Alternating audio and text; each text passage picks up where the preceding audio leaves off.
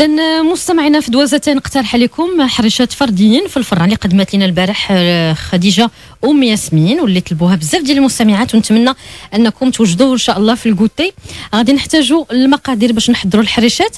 غادي نحتاجوا ربعة ديال السميدة رقيقه ربعة كذلك ديال طحين force كاس صغير ديال سنيدة. ما كنعبروش بالكاس د العنبة هاد آه، الحريشات وإنما كنعبروا بالكاس الصغير اللي كنشربوا فيه أتاي. داك الصغير ماشي د العنبة. donc كاس صغير ديال اتاي ديال سنيده كاس صغير سنيده وكاس صغير ديال حليب سائل وكاس صغير ديال الماء كاس يعني ما عامرش كاس صغير ديال الزيت قبيصه ديال الملح جوج خمارات ديال الحلوى شوية ديال الخميره المعجونه ديال الخبز وبيضه وحده كامله هادو هما المقادير قلنا حريشات فرديين في الفران غادي نحتاجو في المقادير باش نوجدوها ربعه ديال السميده رقيقه ربعه ديال طحين force كاس صغير ديال السنيده كاس صغير ديال الحليب كاس صغير ديال الماء كاس يعني ما عامرش كاس صغير ديال الزيت قبيصة ديال الملح جوج خمارات ديال الحلوى شوية من الخميرة المعجونة ديال الخبز وبيضة وحدة كاملة.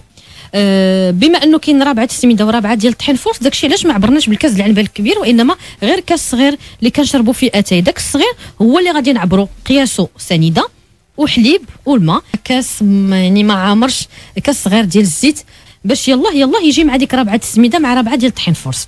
أما بالنسبة للطريقة فكنخلطوا المقادير بطريقة العادية غير بمعلقه ولا بيدينا.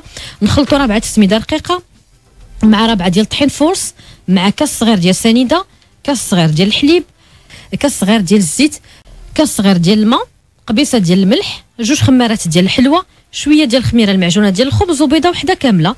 آه كنخلطوا هاد المقادير مع بعضياتها كلها بلا ما نعجنوها بلا والو. غير كيتخلطوا هاد المقادير كلها مزيان. ثم كنحصلوا على عجينة ديال الحرشة كناخذوا هاد العجينة وكنشكلوا منها كويرات وكنقرصوها بالسميده الغليظة. كاين اللي متمكن كياخذ يعني هكا كريسه وكيدير يعني السميده في الكف وكيحاول أنه يديرها على شكل كويرات. وكاين اللي كياخذ مثلا آم، الزلافة الصغيرة. على حسب القياس. من الافضل هاد الحريشات يجيو شوية صغيورين يعني زلافة صغيرة نرشوها بالسميده الغليظة وكنديروا هاد الكريسات وكنبقاو ندوروا ديك الزلافة. حتى كدور كتكور لنا هذه وكتجي على شكل حريشات فرديين صغار. قلنا كنقرصوها بالسميده الغليظة.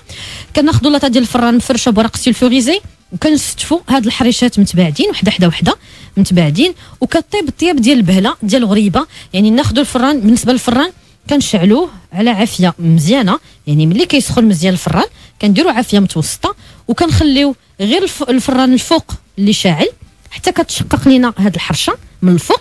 عاد ديك الساعة كنطفيو الفوق وكنخليو آه، لتحت الشاعل وكنخليوها حتى كطيب وكتحمر وديك الساعة كاين اللي كياكلها كيف ما هي كاين اللي كيدهنها بالزبده والعسل اولا مع الفرماج على حسب الاختيار ديالكم. فهذه هي الطريقة.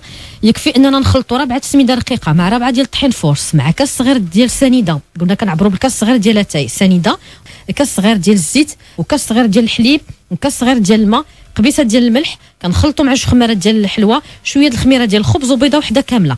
كنخلطوا هاد المقادير كلها بلا ما نعجنوها كتخلط كنحصلوا على عجين ديال الحرشة كنشكلوا منه كويرات وكنقرصوها في السميده الغليظة كنستفوها في لاطه ديال الفران مفرشة بورق sulfurisé وكنستفوا الحريشات متباعدين وكن كطيب في الفران يعني الطياب ديال البهلة.